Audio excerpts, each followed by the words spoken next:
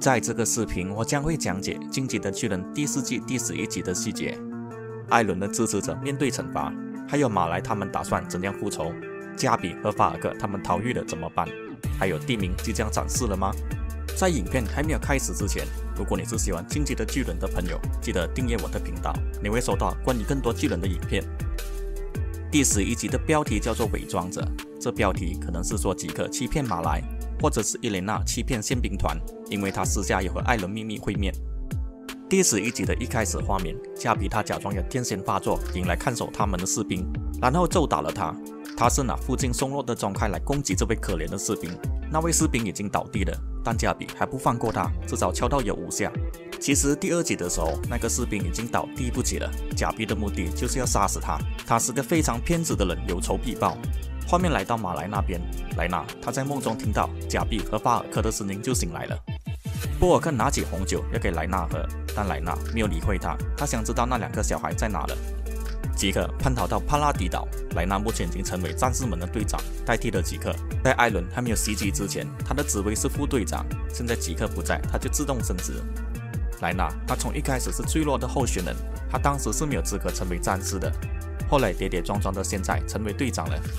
还有一件事，波尔克拿起的红酒，这个红酒出现了三次，在进取的巨人世界中，应该是最好喝的红酒。回到剧情，贾碧和法尔克逃到天亮才停下来休息一下。贾碧他坚持带着马来臂章，这也太显眼了，一眼会被巨人认出他们是马来的艾尔迪亚人。贾碧认为，如果没有这个臂章，就会变得和岛上一样的恶魔。他认为自己是善良的艾尔迪亚人。他们从小就被灌输这个概念。每当在吃饭的时候，莱纳的母亲几乎都会说这件事：岛上的人都是恶魔。只要有这个臂章，就能证明他是善良的艾尔迪亚人。法尔克觉得在这个地方待着太显眼了，于是强行拆下来，但却遭到假币发疯的反击。在他们争论的期间，卡雅发现到他们。这个女孩是沙夏在四年前拯救的女孩。从那天起后，她就被沙夏的父母领养。现在她居住在农场，和其他孤儿在一起生活。他是听到有人在吵闹，前来发现到他们。他问他们是谁。这两个小孩不能告诉他实情。贾碧已经手握着石头，准备打死他了。只要卡雅发现到他们的身份，就打死他。幸好没有发生这样的剧情。好心的卡雅邀请他们一起回到农场吃东西。回到农场，我们看到沙夏的父亲、还有母亲，还有这个疯狂的人杀了他们的女儿。沙夏的父母亲也没认为他是杀人犯。沙夏的父亲还收留他们，直到他们想离开这里。在这里，他们报了虚假的身份。法尔克名叫本，贾比叫做米亚，他是米亚的哥哥。在这里，贾比意识到这里的艾尔迪亚人有一样的口音，发现沙夏的父亲的口音有一点像马来南部的口音。其实沙夏也是有那种口音的，他只是隐藏起来。但贾碧还是认为他们是恶魔，他们只是在伪装自己变得有人性。贾碧只知道自己是个善良的艾尔迪亚人。接下来，贾碧内心挣扎的吃下沙夏母亲煮的食物，因为在之前他告诉自己绝不会和恶魔一同吃饭。在他心里一直记着马来告诉他的话。当沙夏的母亲靠近他时，他反抗地推开他的手。接下来，画面来到青美到达帕拉迪岛。之前，艾伦在马来做的事情被认为是恐怖分子的。青美冒着很大的危险要来到这座岛，因为他来这里是有目的的，他要亲眼目睹那个危险。他们建造了使用冰雹石为燃料的世界第一架飞机，他要乘坐这架飞机亲眼目睹到地名的威力。目前，吉克和艾伦关在不同的地方，就是为了不让他们碰面。那么，他们是要试行地名，还是另有计划？在之前，他们知道地名可以阻止他国攻击帕拉迪岛，但他们不太想使用危险性的方法来阻止。后来几年中，他们尝试了许多方法和其他国家交流，打算终止一切，回归平安。但事情没有那么的顺利。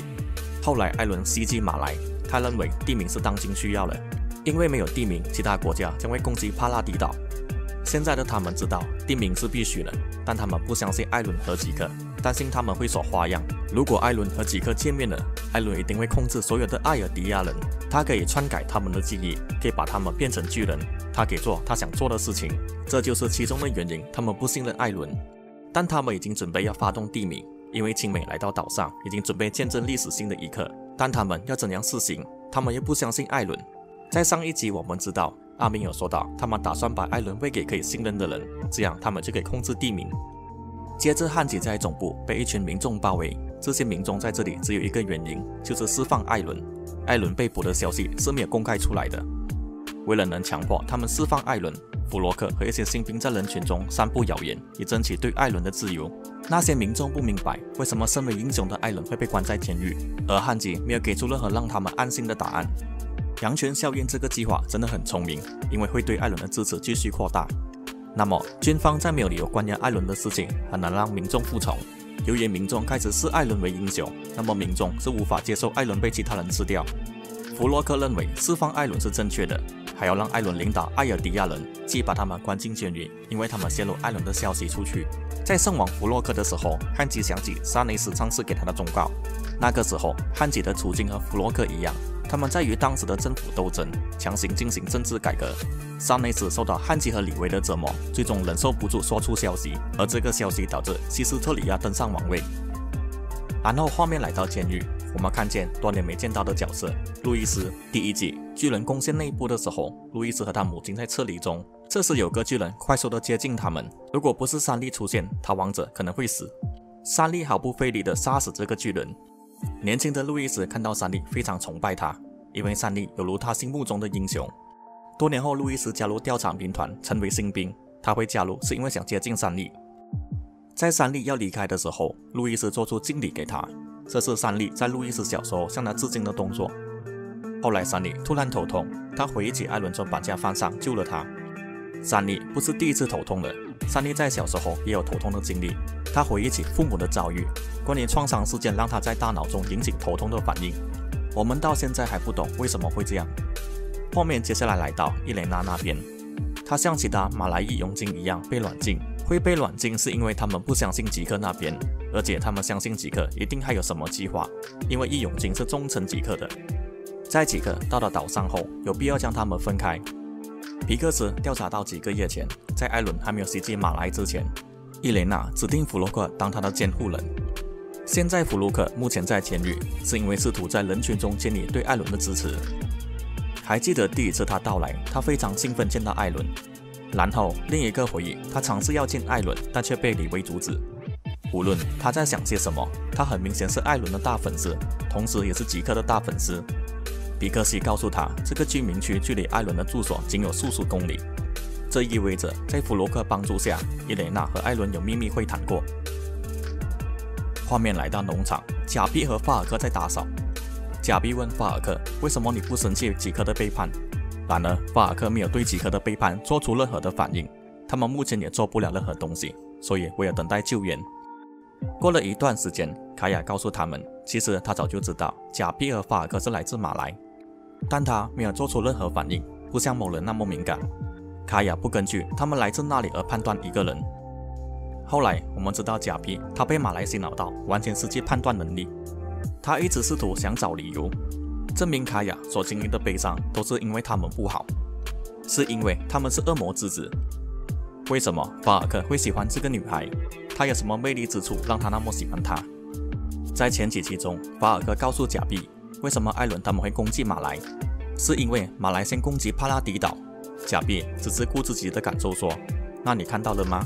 贾碧会这样是因为马来所造成的。画面来到莱纳那边，他们调查到几个背叛了他们。他们调查到马来技术出现在立体机动装置。比克知道多年前伊莲娜被派去帕拉迪岛，这是几个刻意安排的人选。马加特也提到吉克的全尸也没有找到，所以知道吉克为了欺骗马来而装死。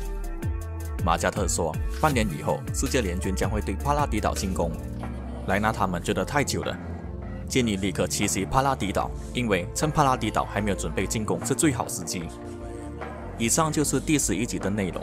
老实说，我看到假币真有点想一巴掌给他醒。他完全被马来给洗脑而失去判断。你们对于假币这样的人有什么看法呢？欢迎你们留言告诉我。那我们下个影片见，拜拜。